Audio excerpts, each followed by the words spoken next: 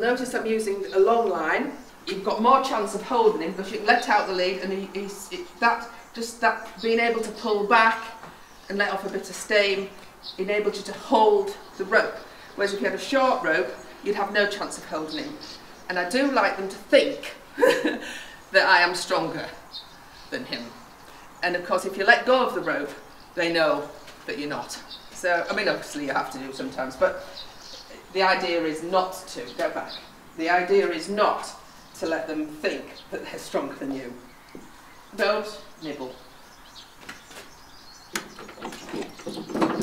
It's not spooky, as you can see I can drop that chain and he doesn't have a flinch like uh, Farouk would when he first came. He's just, as you can see there, he's just crowding me. This is something we've got to sort out, but not all at once. We don't want to upset him because that will be a little bit aggressive to sort that out. So um, that will come a bit later once he's got a bit more settled. Walking on. He's walking again into me. Get over.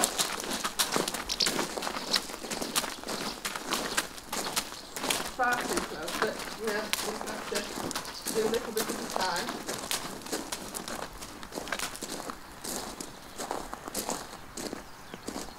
On, you might stay with me. Walk on, you're not eating the lawn, walk on. Good boy.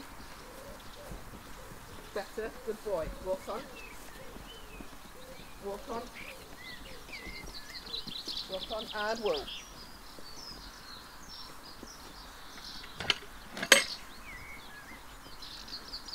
Walk on.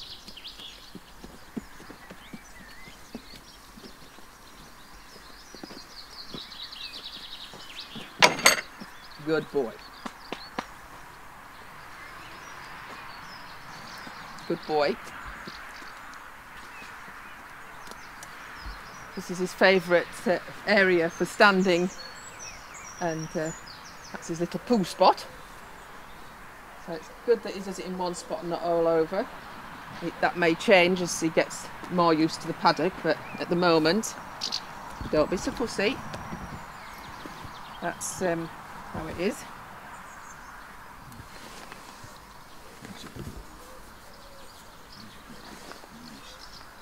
Back you go. Go on, over. Just have to get out the gate now. Over. Good boy. Over. Good boy.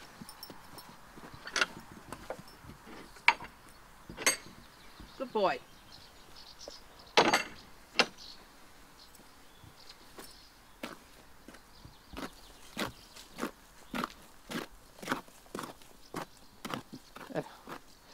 As if that isn't muddy enough. Oh, that's a nice little. Oh, right near the gate, nutter. Yes, well, that was a bit silly there, wasn't it? Yes. Yes. Game, mate.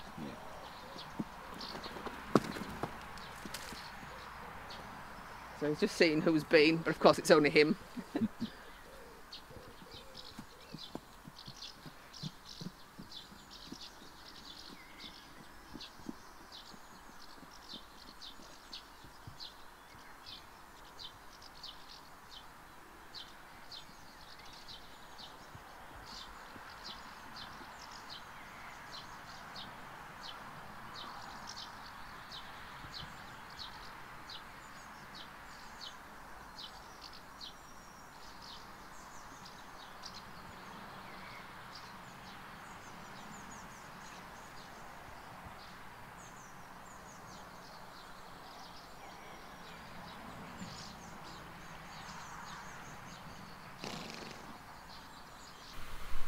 I had to show you this dexterous squirrel.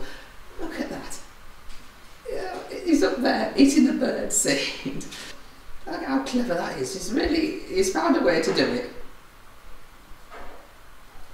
Hanging on with his little feet at the back there.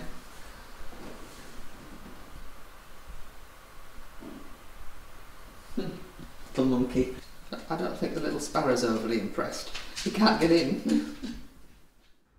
Day five, and back to sunny weather. I'm repeating that last section in slow motion as you may have missed what's just happened.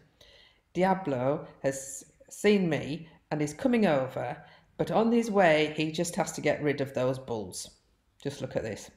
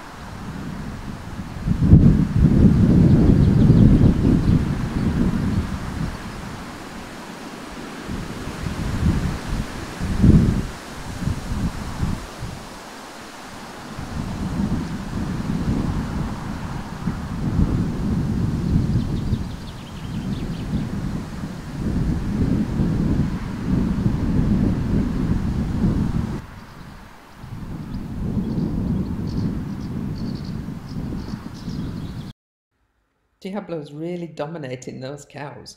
Well, that's good for when we're out riding in a few years' time.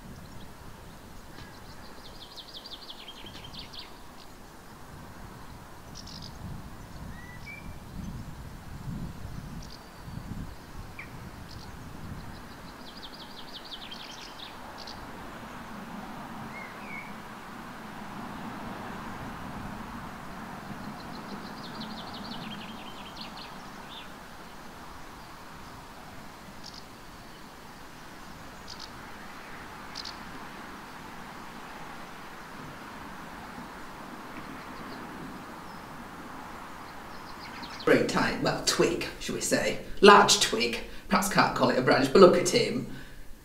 What a cute he is. He's not frightened, is he? You know, he's a playful chap. He's so much like Apollo.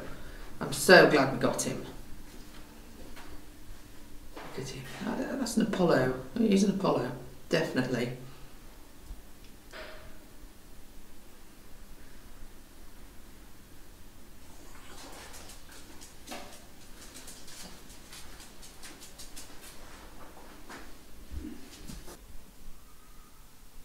There